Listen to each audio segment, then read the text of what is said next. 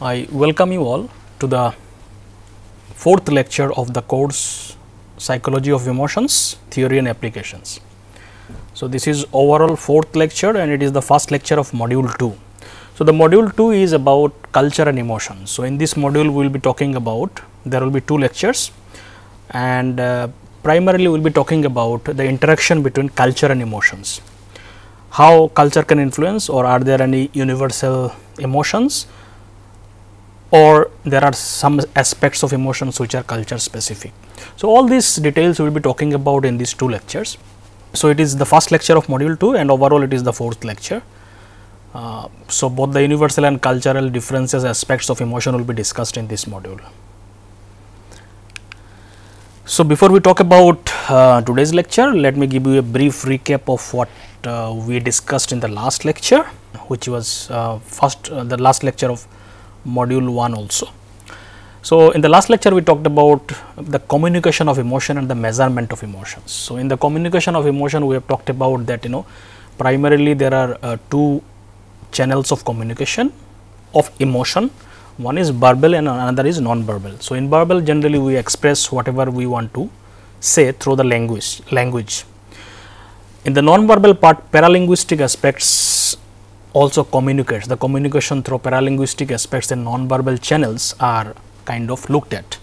So, communication of emotion or overall communication is not just about what you say, uh, but also depends on how you say how what is your body language how you express it, what is the tone of saying something. So, all these thing aspects you know are important in the communication of emotion and the communication in overall also. So, in the last lecture we have discussed all these things in detail particularly we discussed uh, non-verbal communication through facial expressions because emotion is very uh, significantly expressed through our face and the muscles of the face and we have discussed how you know emotions can be expressed through face and different researches associated with it. We also talked about um, how emotion can be expressed through the body movements and the postures and so on. In that context also we have discussed the different empirical evidences associated with it and at the end we have discussed how emotion is expressed through the voice uh, particularly the prosody part of it where no the pitch of the voice, rate of the voice and intensity of the voice and so on how all these aspects also conveys emotion or the different emotions and uh, the empirical evidences associated with them. Uh, then we have discussed uh, in the last lecture also the, about the measurement of emotion. Uh, in that context we have discussed that there are three primary uh, you know uh, ways of measurement of emotion primarily adopted by the researcher. One is self report measures which basically ask the participants to report their own subjective feelings through certain scale or Likert scale like rating scale like 1 to 10, 1 to 5 and so on. Uh, because subjective aspect of emotion no one else can detect it. So, it is the only the concerned person can report. So, it is that is why it is called as a self report measure where the concerned person reports his or her subjective feelings in a scale. So, that you know it, it, it becomes measurable. Obviously, there are limitations to it uh, and uh, we have discussed all these limitations. Uh, then uh, physiological measures are there where you know uh, because every emotion is associated with certain physiological changes in the body. So, some research tries to capture those changes as an aspect of measurement of emotion. Since these are always associated with emotions, measuring those physiological changes also gives us an idea of what happens when such emotions are experienced. So, it includes something like you know even measuring heartbeat, skin conductance, uh, sweating and so on. Uh, it also includes uh, you know measurement of brain waves, electrical signals in the brain using you know EEG, fMRI and so on. We have discussed all these things. So, these also have their own advantages and disadvantages. Then uh, uh, the third one is called behavioral measures where you do not uh, we just report or kind of you know uh, try to measure observable actions associated with the um, emotions. So, it may include you know uh, measuring or reporting the body movement or facial expressions and so on. Specific softwares have also been developed like FSE by Paul Ekman and, and his group which tries to measure different muscle movement and the you know changes in the muscle movement using uh, certain softwares. So, those are also used nowadays uh, to measure the behavioral aspects of emotions. So, all these uh, measures, all these methodologies has their own advantages and disadvantages depending on the situation, feasibility, people use all these measures and um, the best way is if possible, if combination of these measures are used to measure emotions that gives much more validity. So, these are the things that we have discussed in the last class. So, today we will be discussing about uh, in the context of culture and emotion, uh, we will be talking um, primarily focusing on the universal part of it. Are there evidences of universal expression of emotion? We have discussed some of it, but now it more in in depth way we will discuss here. So, are there universal emotions? Uh, are there universal expression of emotions in terms of facial expression, in terms of vocal expression, in terms of physiological aspects of emotions. Uh, then we will also discuss what component of emotion are, are universal. Is it like uh, some of the emotions are universal or some aspects or components of emotions are universal. So, we will be talking about componential theory of emotion also in this context. So, let us start today's lecture. So, in the context of culture and emotion because this module is about culture and emotion, uh, the major question that will be addressed here is that do people in different culture experience similar emotion? Is it like people in different cultures they experience emotions very similarly or the experience of emotion or the expression of emotions are different as, as uh, the culture changes? Uh, so, that is a very significant question to understand because it has a lot of relevance in today's world where you know globalization is happening and there is an interaction uh, between all cultures so, understanding experiences of emotion across culture is very significant in today's world particularly where we are no longer living in an isolated world. It is a world where no, there is a constant interaction among peoples of different cultures. So, the study of culture and emotion addresses this very important question. Uh, this research area is particularly very significant and may have many practical and applied implications. Uh, it will have implications in cross cultural communications you know uh, which is uh, which is very important.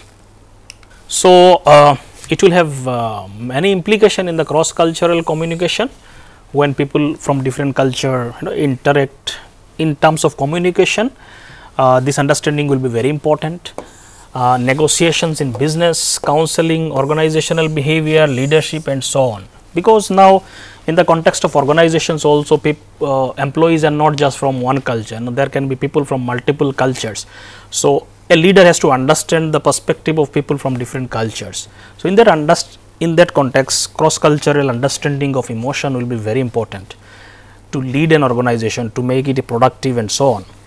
Uh, things like counseling, you know, business negotiation, etc., will have also a lot of implication in today's world in terms of cross cultural communication or cross cultural understanding of emotions.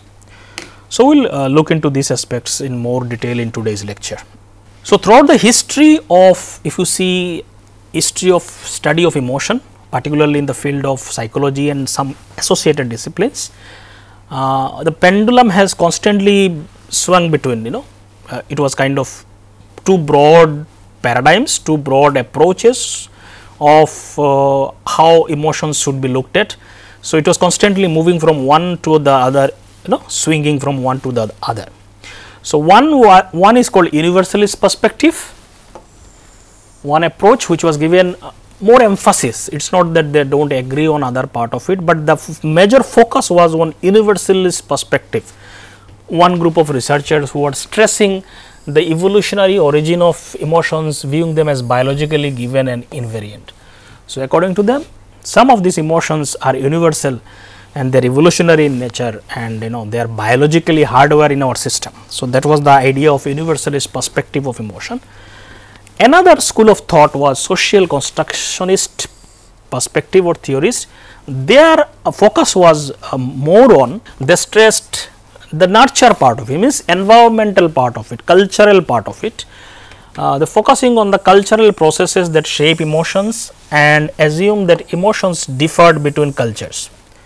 So, they are focusing more on uh, how cultural processes shape emotions, influences emotions and uh, one of the assumption was that you know a lot of these influences will have differential influences of culture will have will have implications and uh, the different culture will experience emotion uh, you know or express emotions differently as per the cultural uh, norms and so on. So, these are the two uh, major uh, perspective where no people have been kind of swinging from one to the other and the researchers were going from this side to that side and so on. So, if I just uh, you know kind of show it like this.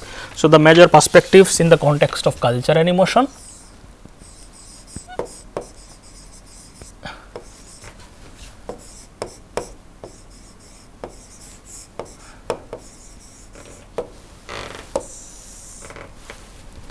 So, one is as we said is uh, universalist perspective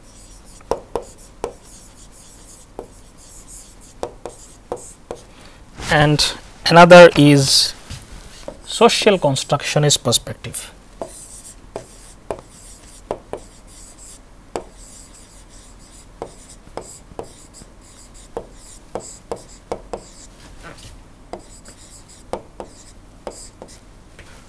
So, here the idea is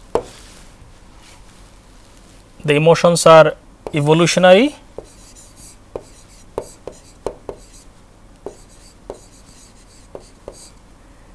Biologically given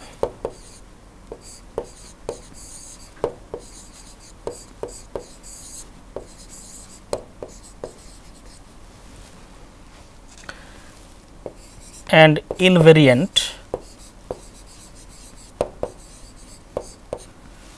across cultures.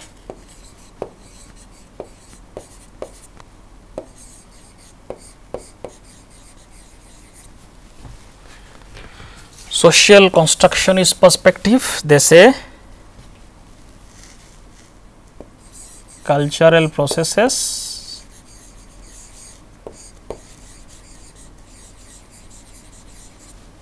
Shape emotions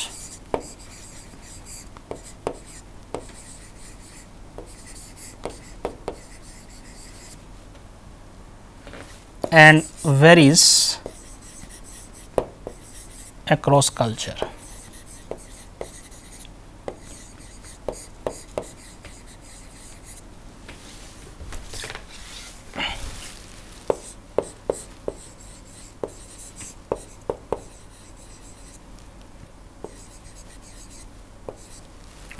So, these are the two uh, perspectives uh, that uh,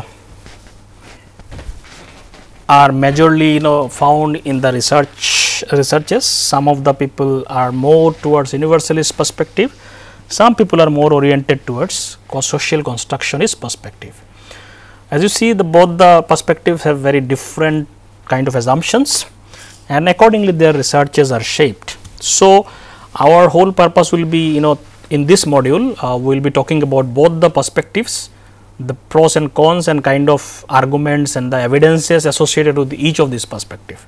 So, in today's lecture we will be talking and looking deeper into the universalist perspective and in the next lecture we will be talking about uh, primarily the social constructionist perspective of emotions.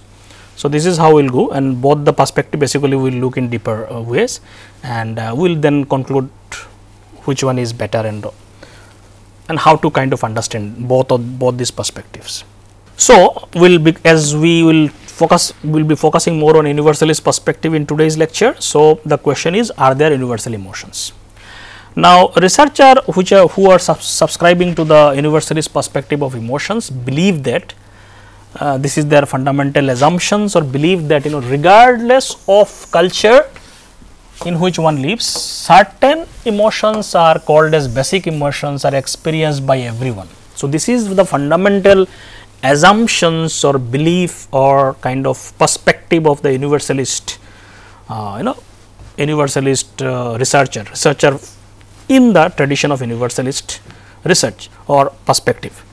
So, the thing is that you know regardless of culture some emotions like basic emotions are experienced by everyone in every culture so, these are like you know universal. So, this is the assumption. So, the underlying assumption is that basic emotion evolved for their adaptive utility because these emotions evolved from the animals because and they are passed on because of their adaptive utility you know and they are essential for coping with life activities. So, that is why they are necessary for every human being. So, they evolved across cultures. So, they are that is why they are universal. Anger for example, protects us from exploitation. So, anger as an emotion have helped us to survive, to protect us, to defend us. This emotion has kind of you know uh, because it is the anger that kind of helps you to protect yourself or the fight with the enemy and so on. So, it, it, it has an evolutionary and adaptive purpose to it. So, this will be experienced by people in every culture. So, this is the assumptions of universalist perspective. So, the most basic emotional theories most of them we have discussed in some of the earlier lecture uh, assume that each basic emotion relate to certain adaptive value as we have discussed and each of these basic emotion has their own set of distinct characteristics. So, they can be kind of identified or distinguished from one another because they have distinctive unique characteristics like what events will cause them, what kind of facial expression they will have, they will have different facial expressions, they will different have vocal expression, they will have different physiological indicators and so on. So, the experience of each of these basic emotions are not directly measurable. Obviously, the experience can only be you know this is something that the person experiences within themselves. In research measurement mostly focuses on the characteristics feature associated with them. So, for example, uh, when we experience a emotion there will be physiological changes, there will be changes in the expressive behavior and this thing can be measured. So, most of the researchers have been focusing on this associated changes that happens they try to measure and kind of make sense out of them. Cross cultural study aimed at providing the universality of basic emotion relied on observable features of basic emotions. You know they are mostly focusing on whatever observable features of emotional experiences are such as facial and vocal expression, physiological responses patterns associated with these basic emotions. So, these things we will now look into deeper more more deeper into these aspects and how what kind of evidences are there in the researches particularly in the context of universalist idea. So, are there universal facial expression across cultures? So, that is the thing that we will be looking now. So, if you look at uh, one of the earliest work in uh, emotion particularly the concept of basic universal emotion was Charles Darwin's work. We have already discussed in the historical perspective.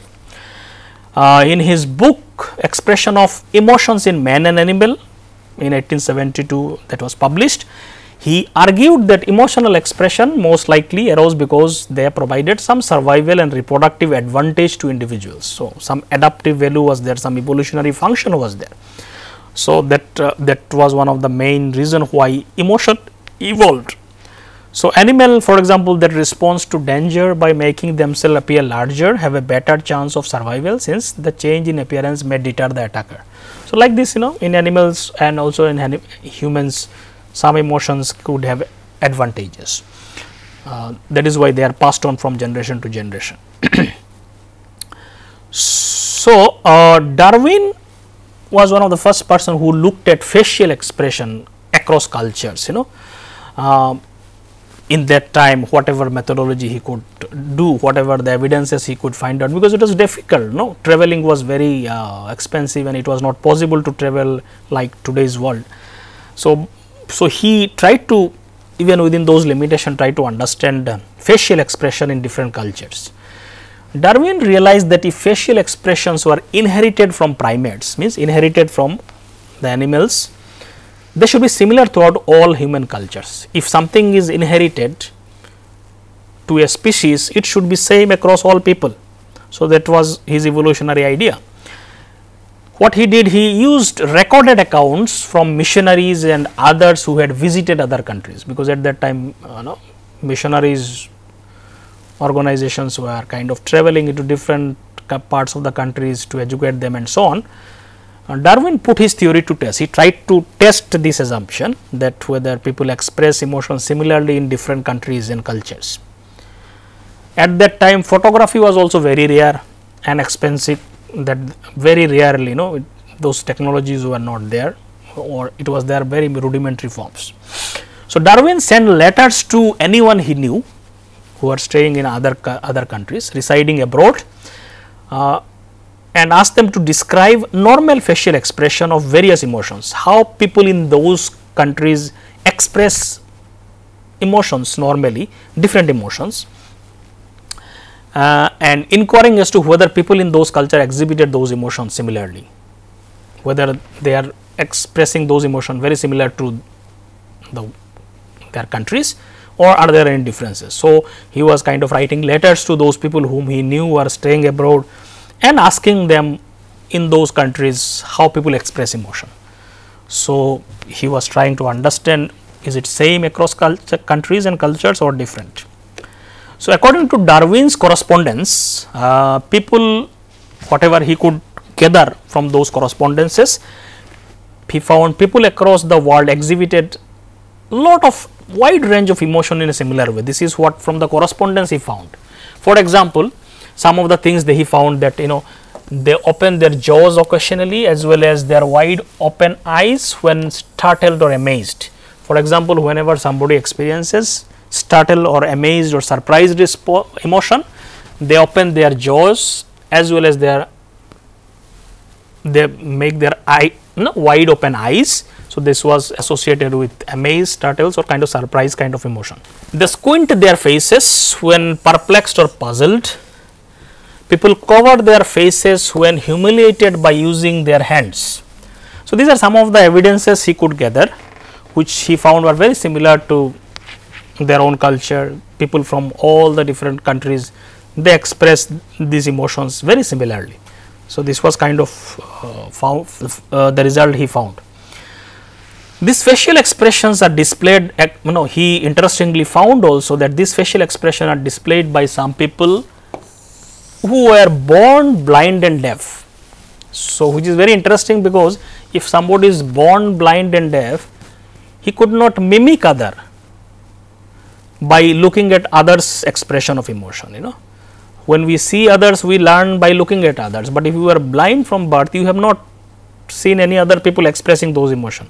Even people who are blind and or deaf from birth these people also displayed uh, you know this facial expression which is astonishing given that they never knew what it feels like to be seen or you know or see something. So, that means this is something very biologically hardwired thing. So, this is what he found about a century later you know some other uh, another Austrian biologist uh, another Austrian biologist uh, it's very difficult to pronounce his name Irenaeus uh, Eibel Eibestfeld is the name of the researcher. Uh, he visited numerous remote cultures and took pictures because at that time at least photography was possible of people's facial expression you know from diverse culture. He also found uh, at least you know kind of from his account he also noted uh, striking cross cultural similarities in the facial expression of emotion. Most of these emotions are very similarly expressed by people in the different culture. In the early 20th century, dominant social sciences theories emphasized substantial environment effect. Early 20th century, some people started focusing on those, you know, cultural the role of culture in shaping emotion, those social constructionist perspective slowly started coming in and uh, they also uh, you know emphasize environmental effect more than the universal perspective. Uh, in the mid 20th century, a lot of ethnographic ac accounts of cultural disparities, you know, in expression. They also looked at some of these things. We will be discussing them little bit more detail in the next lecture. So, some of this also started coming in from the early uh, 20th century to the mid 20th century, some social constructivist researcher also came into the picture. However, in 1960s, uh, this whole universalist perspective also became you know, the momentum again started by the research of Paul Ekman, Carroll Izard and some other you know basic emotional theorist uh, who went out to test Darwin's hypothesis that you know if something is evolutionary adaptive uh, something is biologically driven it should be same same across cultures. So, they tried to test it in the modern world with more evidences uh, of the Darwin's uh, hypothesis. So, the, so according to their hypothesis that people uh, or Darwin's hypothesis was that you know diverse culture should agree on the meaning of few basic facial expression if not all emotions at least some basic emotions. So, they use photographs uh, from Tomkins, Silvan Tomkins is another prominent researcher of basic emotional model. Uh, the, their collection of facial expression of basic emotions in their research. So, this was the kind of photographs they used of uh, from the Tomkins uh, collection. So, these are the six basic emotions uh, happiness, surprise, fear, anger, disgust, sadness and so on. So, these are the six basic photographs that was kind of used in their research. What they did was you know they showed these photographs of people expressing this basic emotion such as anger, disgust, fear, happiness, sadness and surprise and ask participant to identify the emotions in the photograph and ask people from the different cultures to identify those emotions. Several versions of these studies have been undertaken not one study many many versions of these studies have been undertaken in nations all over the world. So, to include people from diverse culture. They even included some participants in some studies who resided in small secluded rural communities where they rarely encountered people from the western world and not even watched television and movies. So, they are not exposed to the modern world even remote native people you know who are not exposed to any of this modern uh, media and uh, whatever you know. So, what happens when you even, even one some people some communities may live very remotely, but if they are exposed to medias they may know how people from other cultures react and so on. So, that can influence their you know judgment, but if peoples are very secluded and not, exposed to those you know different medias then you can understand you know this is a pure emotion experience by those uh, particular communities.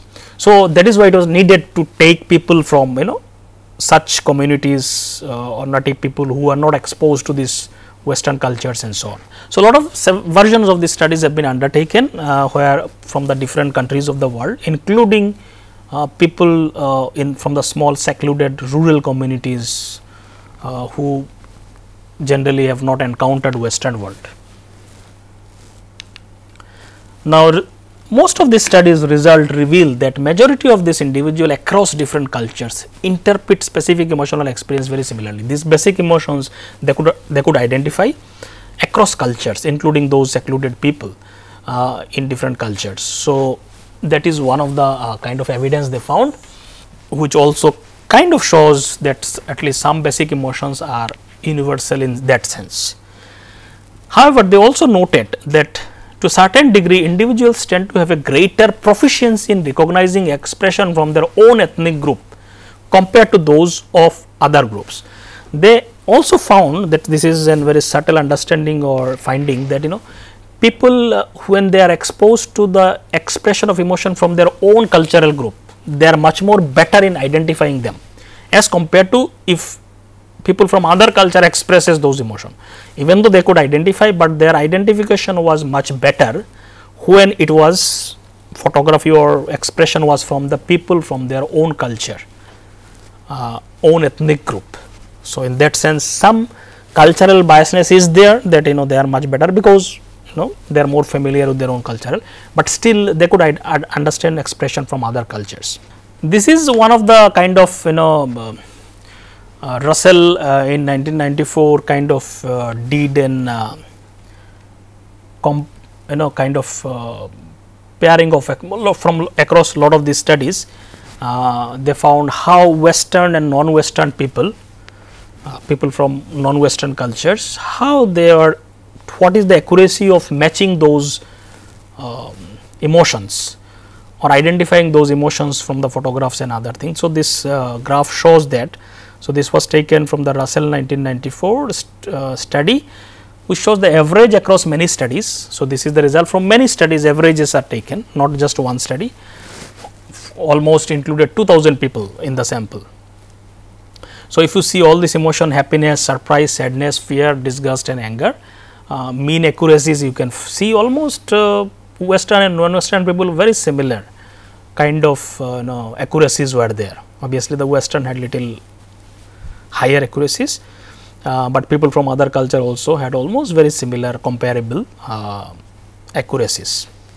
However, these studies uh, people also pointed out uh, some possible limitations were also there in the studies including Darwin's research which was obviously you know it was much earlier. So, it was he was he did whatever was possible at that time.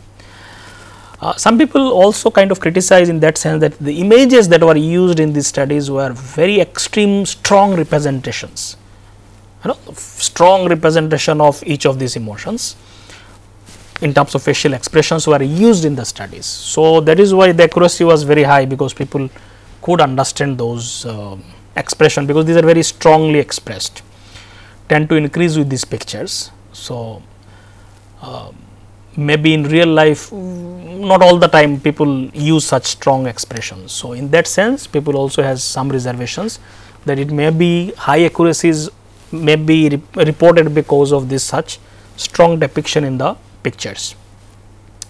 Some people even criticize some of the procedures, so we will not go into detail of that. Uh, so, measuring people's accuracy at identifying facial expression is difficult as the results vary depending on the procedural details. So, as the procedure of the experiment changes, so the accuracy how you measure that accuracy also keeps changing. So, kind of sometimes comparing could be misleading in some of this context. So, these are some of the criticism of those studies that obviously no study is perfect, uh, some limitations are there. However, uh, it is clear that various facial expression conveys essentially same meaning from culture to culture. At least this is very clear. A uh, lot of these studies at least indicate that meaning was kind of very similar uh, for some of these basic emotions across cultures. Many scientists view this finding as at least it is, it is giving some proof that human have a few few at least universal emotions or certain templates of uh, emotions uh, for generating and interpreting certain facial expressions. At least it gives some evidence to the universal um, presence of some emotion particularly some of the basic emotion across cultures. So, uh, so this is this is about facial expression and some evidence to it. Now, we will talk about are there uh, universal vocal expressions is or um, so do people from different culture uh, when they express emotion in their vocal or when they say something the vocalization part of it is it also universally same or are there differences in it. So, let us see some of the research evidences. So, research on vocal expression of uh, emotion are less compared obviously vocal expression the researches are less as compared to most of the studies is focused on facial expression because it was uh, more easier to do um, in terms of you know, collection of data and so on. Vocal expression researches are there, but comparatively less because of difficulty in finding real life record of vocal expression of specific emotions. Few studies on vocal expression of emotion has uh, also led to some support to cross cultural similarity in expression. Some evidences are there. So, let us see some of these evidences. So, this is one of the study done in 2001 uh, by Scherer and colleagues.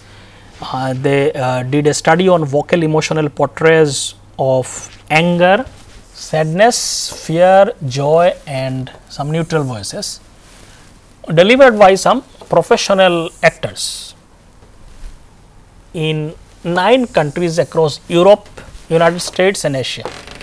So, this was this was this was the study it is a large scale study uh, where certain actors portrayed those emotion in their voice and uh, the typical basic emotions anger, sadness, fear, joy and some neutral voices. And uh, this was uh, these samples were used across 9 countries of Europe, United States and Asia. So, different cultures, different countries. The goal or the purpose of this study was to test the hypothesis that vo vocal expression of emotions may be reliably recognized by members of other cultures. So, the idea is uh, these vocal expressions should be if they are universal should be identified by people from all these countries if we consider them as a universal you know so that was the hypothesis now the research the result of the research shows that uh, overall accuracy across different countries were around 66 percent which is good in some sense uh, because uh, it is at least above 50 percent although accuracy was better than chance. So, 66 percent means it is not because of chance at least some reliability is there. Uh, there were significant variances from 74 percent in German. So, some country country country to country certain variations were there 74 percent in Germany to 52 percent in Indonesia. So, in some countries this accuracy was much higher Germany because the actors themselves were from Germany. So, probably it was much higher and it was much less 52 percent in Indonesia. So, there was a differences across countries also. The result also shows the patterns of confusion were uh, remarkably similar across all countries. Um, the confusions, the problems that um, arose in different countries were also very similar. So, this finding at least implies that similar inferences rules from vocal expression exist across culture at least some evidences this shows that you know certain similarities in understanding and expression of vocal expression was there across culture although it was not like 100 percent or something like that. Bryant and Barrett uh, in 2008 also uh, they did a study in order to examine the perception of vocal emotional expression across culture with uh, but they focused on a culture who had very little exposure to the you know uh, sources of emotional stimuli such as mass media. So, uh, they also did a study, but this time they studied only cultures who are very exclusive remote cultures where they had very little exposure to mass media and understanding of uh, other world, uh, other countries.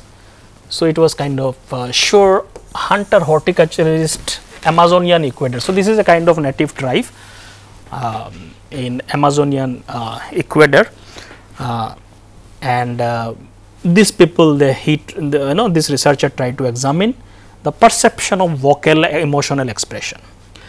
So, the researcher uh, he found that you know these people also could identify happy, angry, happy, angry, fearful, and sad vocalization produced by American native English speakers. So, American native English speaker when they kind of expressed this emotion in their vocab voice using some sentences by matching emotional spoken utterances of emotional expression depicted in the picture of uh, in the pictured in uh, depicted in pictured faces. So, it was like you know they had to match these certain faces or pictures depicting certain emotions and the voices expressing certain emotions that they have to match whether this picture expressing emotion is similar to the emotion expressed in the voice. So, that matching exercise was there and uh, they could see that these people also uh, could identify some of these basic emotions in the vocalization. These people also perform similar almost similar to English speakers who heard the same phrases while they are content filtered almost similarly. So, this finding at least support the concept that vocal emotional response of basic affective categories occur in comparable ways across culture at least uh, this provides some evidence that you know some of these basic emotions um, uh, the way they are vocalized uh, are comparable across cultures. In another experiment Sauter and her and colleagues um, in 2009 also explored an, in another study the recognition of non-verbal emotional vocalization like screams and laughs in two distinct cultures. So, non-verbal emotional vocalization here you are not speaking any sentences or anything, uh, but certain vocalization where there is no words like screams and laughs that also co communicate certain emotions. So, in this study they were trying to understand whether people can recognize those non-verbal vocalization in different cultures.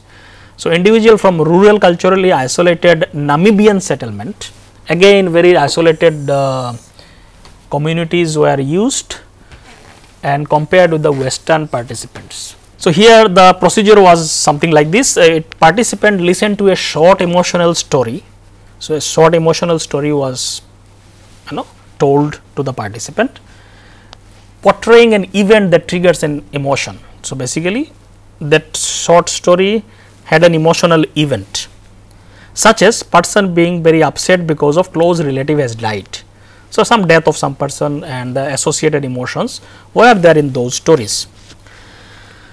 Now, they were played two vocalization sound after confirming that, that this, this participant comprehended the intended emotion of the story. So, the researcher made sure that they understood this story and the emotions behind it and then two vocalization sounds were made not sentences sounds were made or played basically it was recorded earlier by some professionals and uh, they were asked one of this sound was similar to the emotion of the story and one was not. So, the participant had to match which one is similar to the story's emotion. One of the similar was similar to the emotion described in the story while the other was a distraction, other was something else. So, the participants were asked to choose which of the two vocalization best represented the emotion of the story. If the emotion of the story was sadness, and one of the vocalization that was played was sad vocalization another was some other emotion. So, they had to match which one matches with the story. So, that was the task. English sounds from uh, were from uh, previously validated set of non-verbal vocalization of emotion which validated some sets of emotions uh, vocalizations were already there. So, they took those vocalization produced by two male and two female British speaking uh, English speaking adults. Himba sound means sounds from those Namibia's uh, their native language also produced by 5 male and 6 female Himba adults from their communities and were selected in an equivalent way to English stimuli. So, from both the cultures people produce those sounds. So, in that study they found that vocalization related to those some of these basic emotions or fundamental emotions like anger, uh, you know anger, uh, disgust, fear, joy, sadness and surprise were detected in both the cultures. Okay, bidirectionally when uh, the speakers were from that community that is that Himba uh, uh, this was uh, you know this was kind of Himba sounds Himba language speaking people when they did western people could identify bidirectional means when western people made those sound those uh, native people could identify. So, bidirectionally they could identify those uh, basic emotions. In contrast, a set of additional emotion was only identified inside the cultural bound not across them. However, beyond those uh, basic emotions some other emotional uh, sounds that were produced were not really identified by people from other cultures. So, if it was produced by western uh, uh, person it was not identified by the this native people. When it was uh, native people produced those emotion uh, western people could not identify. So, the, that kind of identification was much less. It was only identified by within those cultural boundaries when it was produced by you know people from their own culture not across them. So, findings show that a number of mostly uh, also showed that negative emotions vocalizations were recognized much better way across culture whereas majority of the positive emotions were expressed using culture specific signals. So, the identification was much more stronger in the negative emotions vocalization particularly they could identify the vocalization of negative emotions much better way across cultures. However, similarity similar was not there in case of positive emotions. In positive emotion the people could identify more from their culture specific signals. So, this was uh, some of the evidences of vocalization across cultures. There are obviously some evidences, but it was not like perfect match. So, let us see what are the significant observation we get from these studies and some and many other studies also. These are only some uh, significant studies uh, I have discussed. There are other studies also. So, what is the what are the significant observations from these uh, studies? One thing is that facial and vocal recognition experiment I am now taking both face and vocal recognition experiments across cultures, reveal that some cross cultural similarity is there for the basic emotions. For basic emotions, there are people from across culture identified at least some of these basic emotions. So, there are some cross cultural validity is there. However, there are cultural differences also observed as well as because the accuracy was not 100 percent same in across cultures. So, some cultural variation was also there. People from all cultures correctly identified some facial and vocal emotions above chance, some of these basic emotions, but the percentages of correct identification varied greatly from 20 to 95 percent from study to study based on both culture and emotion. Okay. So, so both the aspects were there. Cultures correctly, uh, some of the facial and vocal expressions were above chance, you know, identified for particularly for the basic emotions.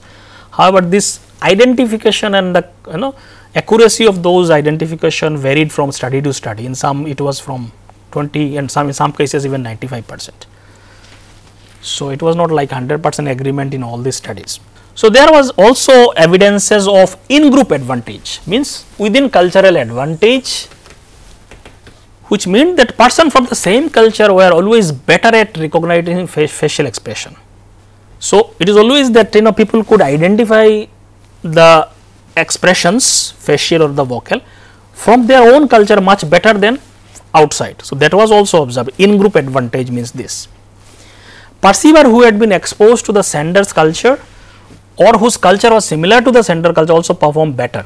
So, when a person is exposed to a particular culture or they had you know similarity to the other culture then the accuracy also increased. So, that was also kind of in group advantage uh, that was also seen in lot of these studies. Now, come to the physiological aspect of emotion. Are there any evidence of universal physiological impact of emotion?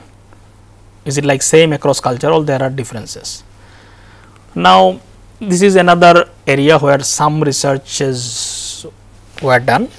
So, do people in different culture show similar physiological response in response to same emotional experience? That means, when somebody is fear fearful, the kind of physiological changes that happens like heartbeat increase and so on, is it same across all cultures or there are differences? Some researchers uh, try to address this, let us see. So, Levinson, Ekman and uh, Friesen in 1990 they also conducted a, one of the first studies involving uh, American university student where they tried to measure physiological aspect of emotion. So, the participant in the study displayed diverse pattern of autonomic nervous system reactivity when they arranged their faces into displays of distinct emotional facial expression. So, here the, the case was like you know the students were asked to display certain specific emotions in their face and then physiological measures were recorded in response to those emotional expression.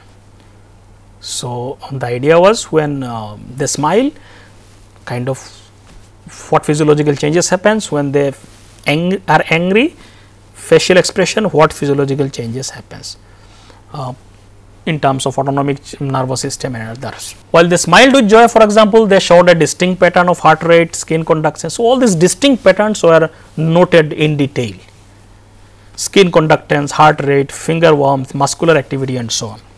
Now, this same study was uh, repeated several years later in Indonesia. So, the data from western uh, people American uh, participants was already there. So, the same study was done in another culture in Indonesia in another country. Uh, Minangkabau men and from western Sumatra uh, as participants from Indonesia to test whether this was also same in the people with the in Indonesia also. So, the, the, similar method was applied here also experimenter guided muscular contraction approach was employed once more to elicit recognizable facial expression of emotion. Similar methodology was applied and they measured some of the parameters like heart rate, finger temperature, skin conductance, finger pulse, transmission time, finger pulse amplitude. So, diverse measures of physiological parameters were noted down. The physiological response of uh, these samples uh, were very similar uh, to the Americans that was done earlier. Uh, only two physiological parameters differed, but most of the physiological parameters were same. So, this shows almost some cross cultural similarity in the physiology of emotion uh, at least in these two cultures it was shown. In another study you know Tsai and Levinson investigated some physiological similarity between East Asia and European American couples during emotional state. So, again the couples from East Asia and European Americans were you know uh, were included as study uh, participants. So, here how it was done uh, the couples engaged in baseline neutral talk they were just neutrally talking. So, that was and their physiological sub parameters were measured as a baseline measure. So, no, no normal neutral talking nothing emotional was there. In the laboratory when the, they are talking physiological uh, monitoring with the equipments were done. Then after some time the follow it, it was followed by discussion of strongest area of conflict. So, emotion was induced how it was induced? They were asked to discuss conflicts in their relationship.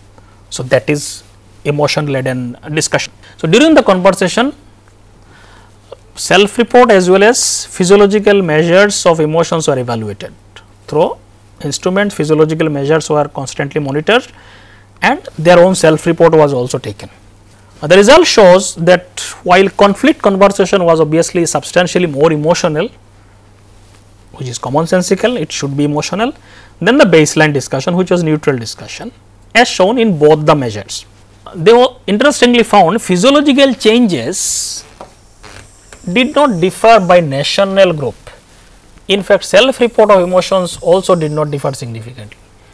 Interestingly for both means, for the people from different cultures it was very similar measurement came out while they were in uh, included uh, when, while they were engaged in you know emotional discussion you know self report was also very similar. So, this also indicates some cross cultural similarity in terms of physiological measures.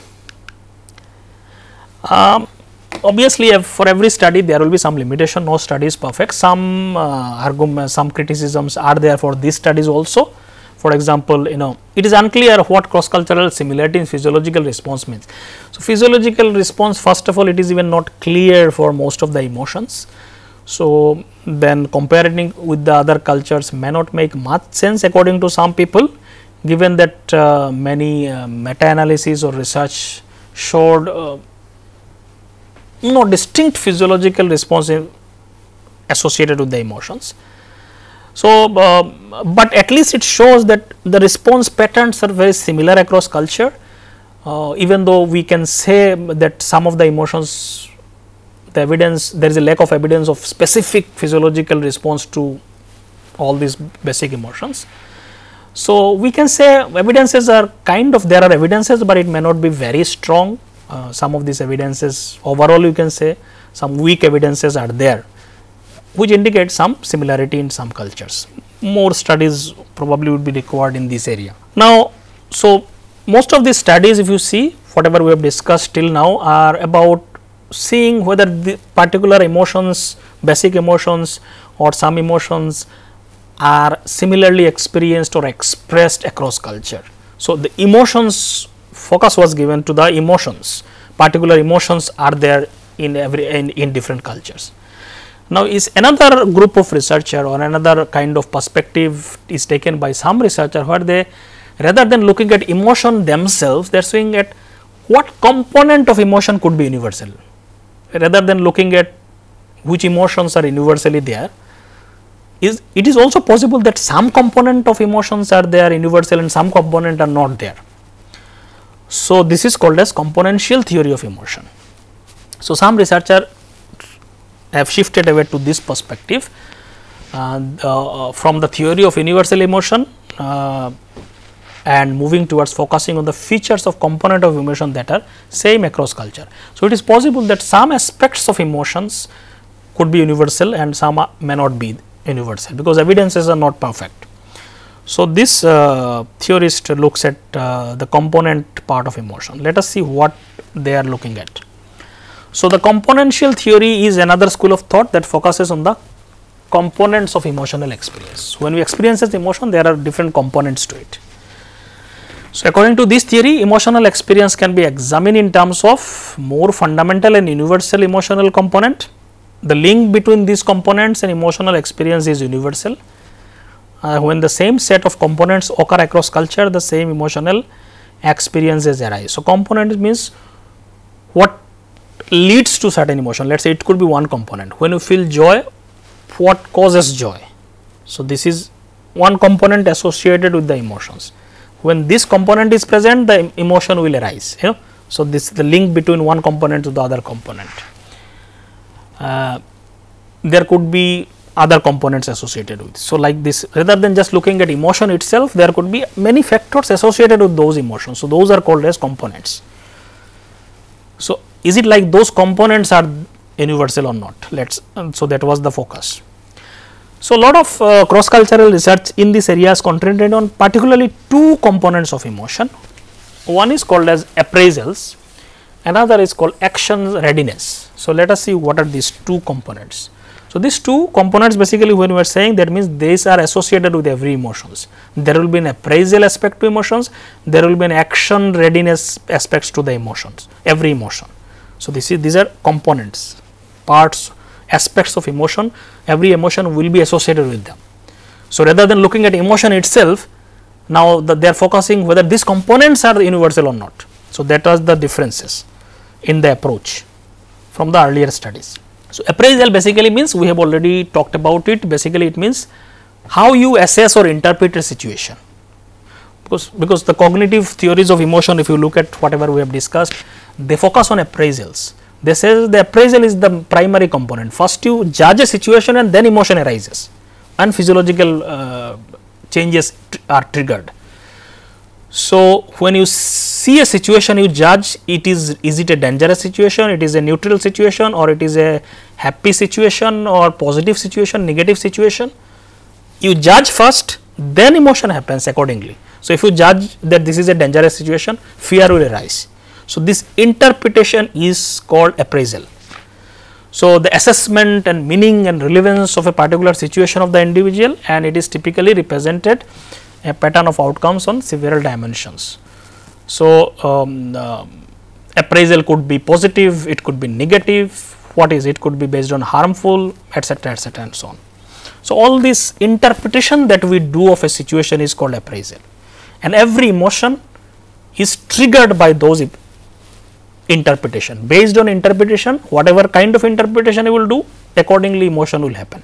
Action readiness on the other hand is about behavioral component of the uh, emotion which basically means whenever we experience an emotion uh, there will be some behavioral part of motivational part to it which will which will kind of propel a person to move in certain direction. So, when you are fearful you may try to run away when you are joyful probably you will kind of expand and try to participate in something or like this you know. So, there is a tendency to action associated with different emotions. So, that is called action readiness.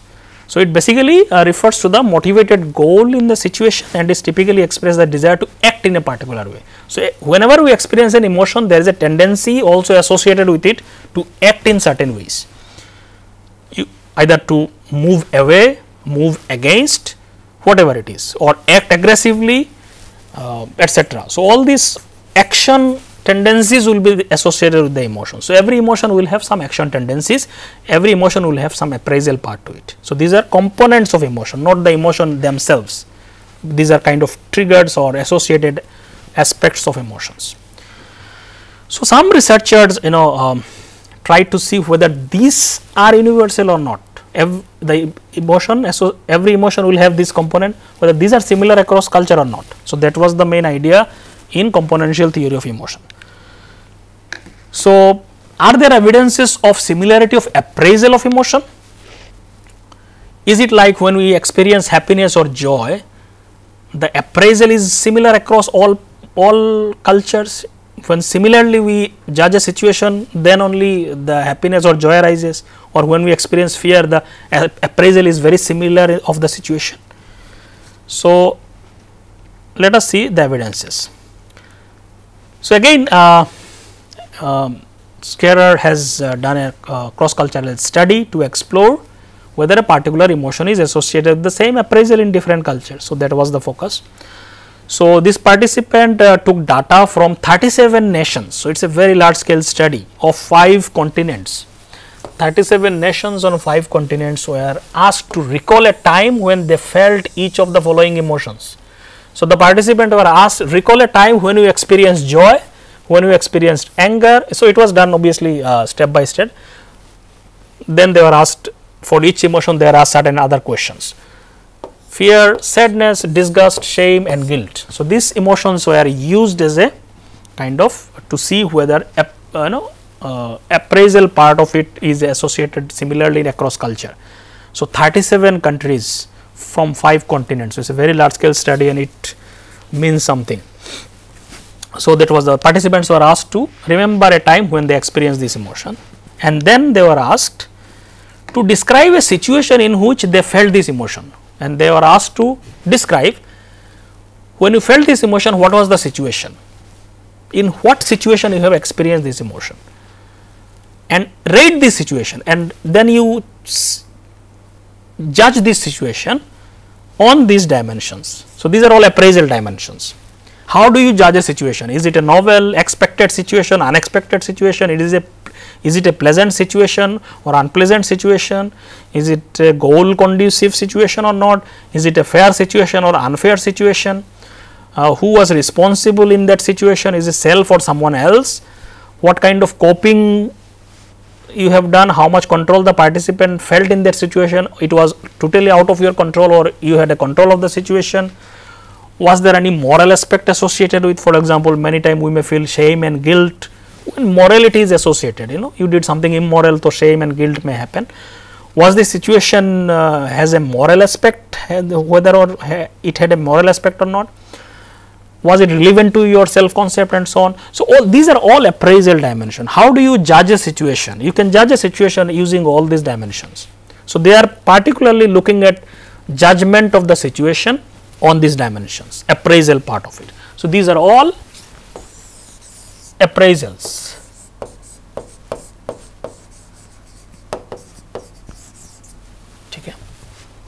So, they were asked to remem uh, remember a situation when they felt these basic emotions and then they were asked what was the situation where you experienced this situation, what was the situation when you felt very joyful last time or whatever it is.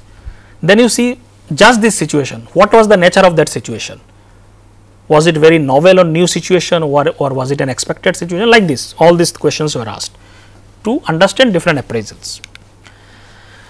The researcher then investigated whether the participant all throughout the world the judge this this appraisal dimensions was similar or not. When somebody felt joyful the situational interpretation was same or not that was the uh, objective. So, the result was shown in some of these diag figures you can see some of these graphs. So, if you see these different lines these different lines from different nations. So, this is for joy okay. So, this these are all appraisal dimension if you see these are all appraisal dimensions okay.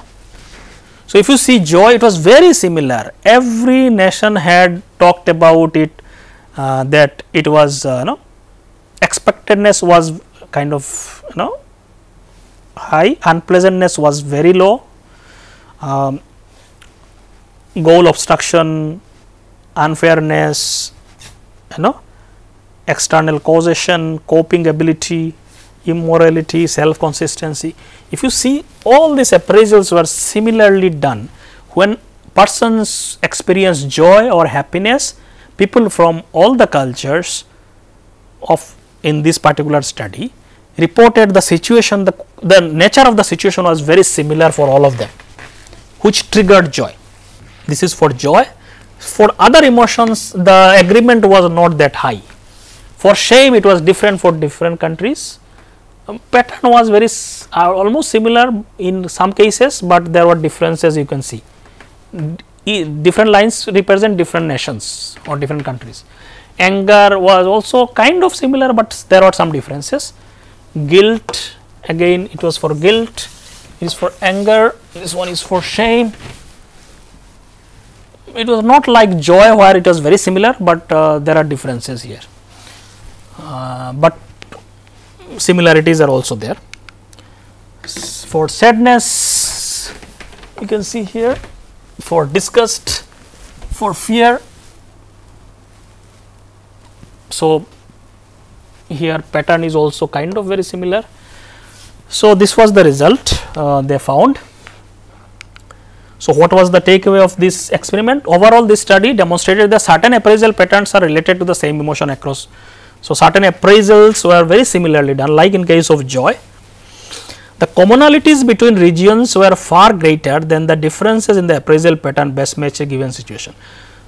Differences were there, but commonalities was kind of higher at the higher side.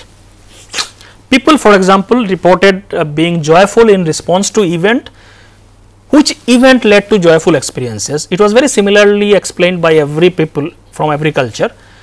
So, it was mostly in a situation which was somewhat expected, very pleasant situation, consistent with their goals, certain goals they wanted to achieve and it was achieved. It was a fair situation and made them feel good about themselves. So, this was the appraisal of the situation that led to joy and it was similar across cultures. Although the overall pattern of similarity in appraisal across culture was impressive, it is equally noteworthy to see there are cultural variations also because other diagram you can see it was not exactly matching. So, some differences were also there. So, in terms of dimension people differ, uh, uh, people from different cultures frequently disagreed regarding the role of morality in the evaluation of emotional experience. That morality dimension that was there in the appraisal whether the situation is moral immoral and uh, whether you feel joyful or shame when it is moral immoral. So there are lot of cultural variations was there in the dimensions of morality what is considered as moral what is considered as immoral was kind of very different interpretation in different cultures. So there are a lot of differences were found. Situation pro producing the most pleasant feelings were regarded as highly immoral by African participant.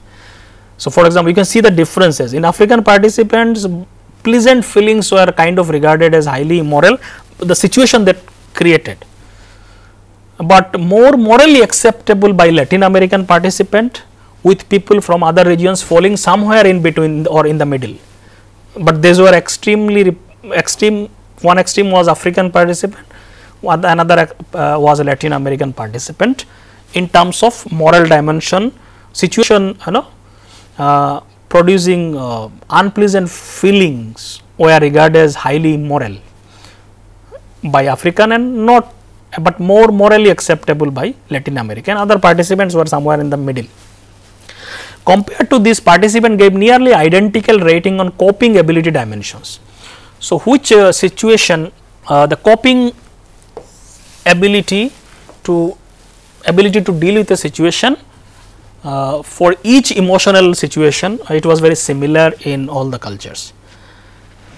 So, perception of what is and what is not moral was very different in different cultures. So, this is an area where a lot of differences were observed. So, finding of this study imply that similar to facial expressions this is we have seen in the facial expression most of the world displays appraisal profiles that are very similar appraisal profile was there uh, especially associated with some distinct emotions similar to facial expression cross cultural agreement is not perfect यहाँ पर भी कोई every everybody did not agree on everything some there are some agreement some disagreement so individuals from other culture tend to agree more strongly on some aspect of appraisal than others so, the patterns of results are very similar across different expression of emotion like facial expression, voice, voice expression, even uh, in this case of appraisal also. Uh, there are similarities, but there are dissimilarities also. Now, are there any cross cultural similarity in the action readiness? The another component of emotion that we talked about that every emotion is associated with some action tendencies either you want to move towards, move against, some movement will happen with all emotions. So, is it like the emotional movement tendencies are same across culture or it is different? So, that was also, but very few studies are actually available on uh, action tendencies. There are some evidence suggests that some core action readiness dimensions such as moving away, moving towards, moving against the object of emotions is able to discriminate among emotions. Okay. So, this action tendencies typically include um, moving away for example, maybe when you are uh, afraid we want to move away, moving towards and moving against probably you know during anger and so on. um, you want to move against something. So, this dimension reflects action readiness aspect of it whether it could uh, are these similar for all emotions across culture not much empirical evidences are available in this direction, but uh, some cross cultural studies uh, show that shame has been associated with urge to disappear. Whenever people experience shame, it is associated with you want to disappear from the situation you know it is very similar across cultures. Whenever you experience shame you want to run away from that situation you want to disappear you know. That is action tendency associated with this emotion is very similar across culture. Not much evidences are available. Uh, large scale studies are at least uh, I could not find much in this direction. So, again here you know some evidences could be there, uh, some evidences at least show some emotions action tendencies could be very similar. However, more research is necessary to make any conclusion in this direction. So, studies suggest that there may be some similar pattern of appraisal and action readiness across cultures Overall, uh, there are some evidences for cross cultural similarity in the expression of basic emotions. Uh, in every expression like facial expression or uh, you know uh, voice and so on. However, the cross cultural agreement is not perfect. In all the evidences it is clear there are some similarities for these basic emotions in terms of expression, in terms of appraisal, in terms of action readiness, but um, agreement is not perfect, some culture specific dimensions of expression of emotions are always there, have been reported in most of these studies.